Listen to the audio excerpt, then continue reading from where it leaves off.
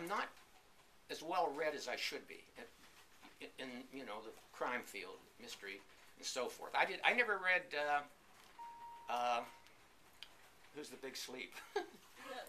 I never read Raymond Chandler until I'd written about six or eight books, and then somehow I, I started reading him, and I thought he's he was terrific.